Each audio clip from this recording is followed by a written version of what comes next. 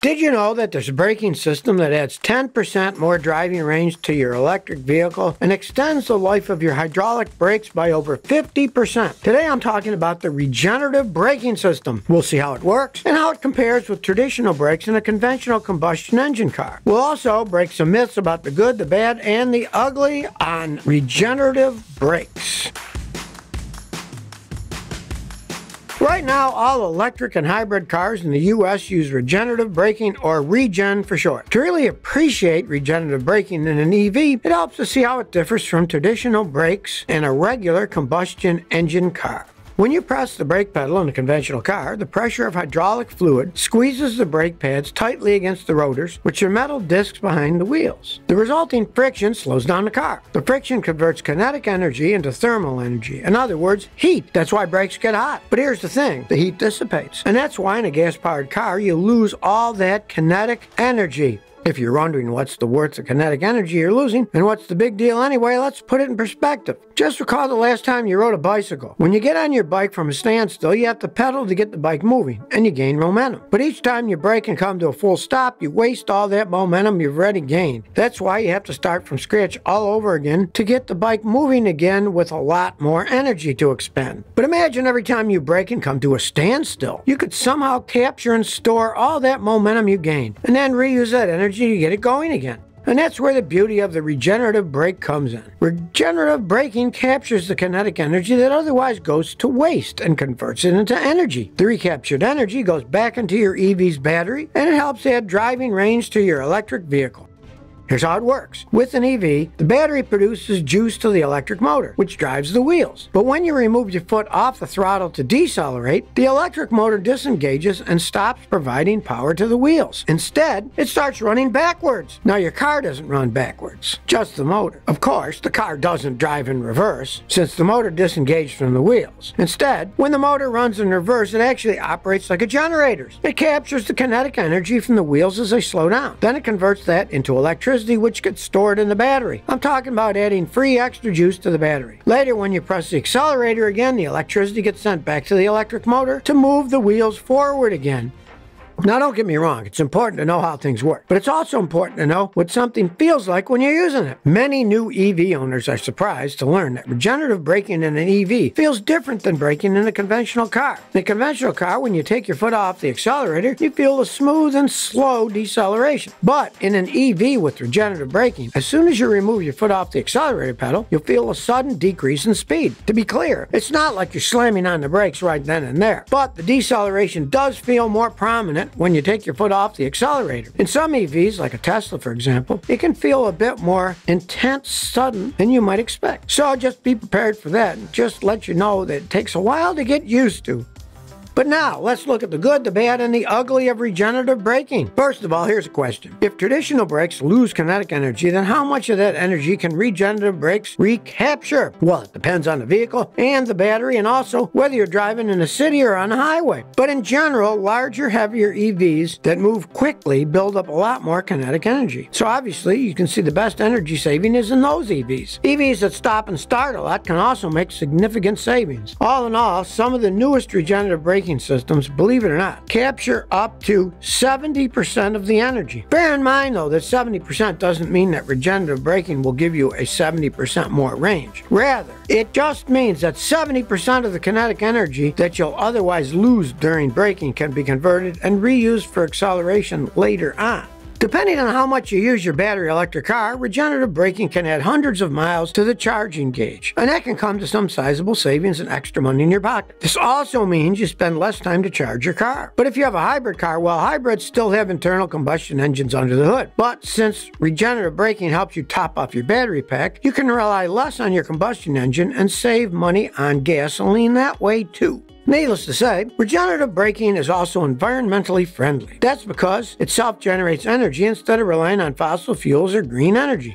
Here's something many don't know. All EVs have regenerative braking systems, but EVs also come with conventional hydraulic brakes by default. But because regenerative braking does most of the work on slowing down the EV, some car experts theorize that your conventional brake pads and rotors get used much less frequently, with less wear and tear. Supposedly they can get a longer life, and you can save on maintenance costs on hydraulic brakes. In fact, Elon Musk is so confident in regenerative braking that he said one day Tesla's semis would have brake pads that literally will last forever because of regenerative braking.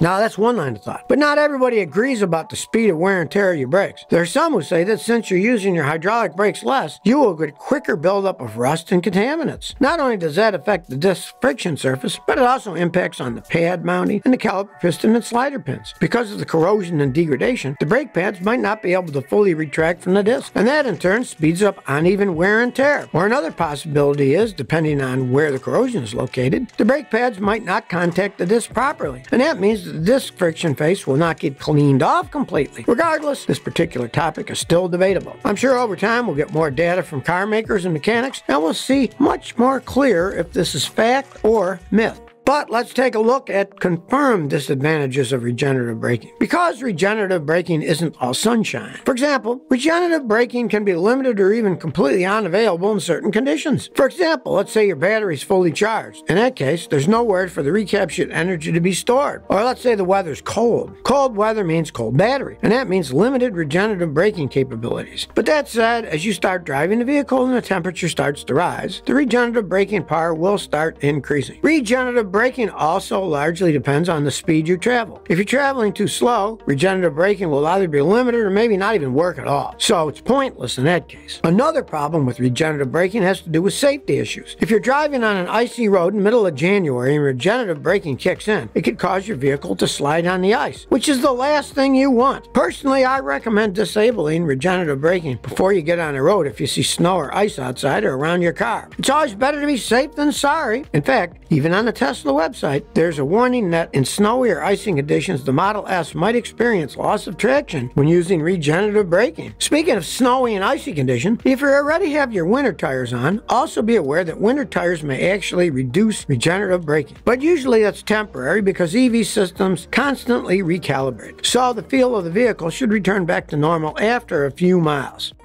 So how can you tell if your regenerative braking system has been reduced? Well, let's say you have a Tesla. There are several ways. If it's cold outside and on the screen you see a snowflake icon and a blue bar on the battery icon, this means that part of the energy in the battery isn't available for use until it warms up. What you can do is preheat the battery using the mobile Tesla app. Turn on the climate control 10 to 14 minutes, and this should make the snowflake and blue bar disappear and you can drive off. Another telltale sign is to look at the Tesla energy bar. You can find the energy bar at the top left side of the touchscreen. The more dots you see on the left side of the line, the less regenerative braking you have. Tesla also added a new indicator light, which helps you understand when regenerative braking has been temporarily reduced. It's located next to the headlight and the high beam indicators. You can click on the symbol to see more information. And if you're still not sure if your regenerative braking is reduced, there's also a warning on the touchscreen that says limited deceleration when accelerator is released. That means that you shouldn't rely on regenerative braking to slow down. Instead, you should use the regular brake pedal. But now there are ways you can optimize regenerative braking to the maximum. Here are a few tips.